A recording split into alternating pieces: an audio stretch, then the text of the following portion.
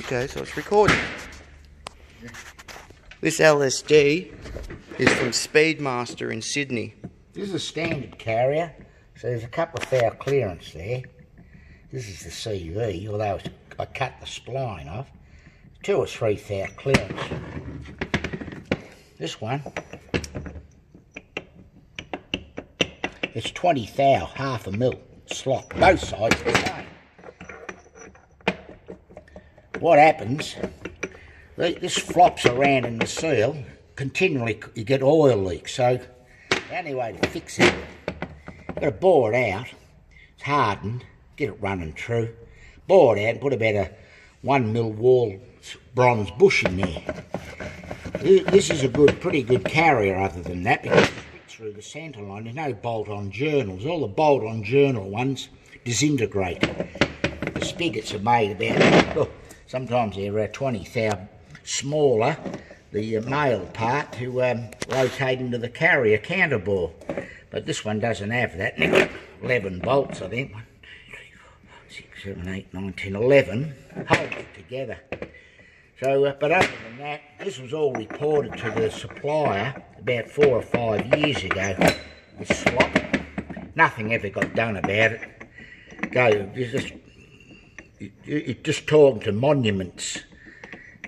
Nothing uh, gets rectified in this life by imbeciles. So anyway, be aware of that if you buy this Speedmaster product. What you have to do to make it uh, good. A brand new item. This is a helical gear LSD from True Speed Track. Truetrac. Yeah.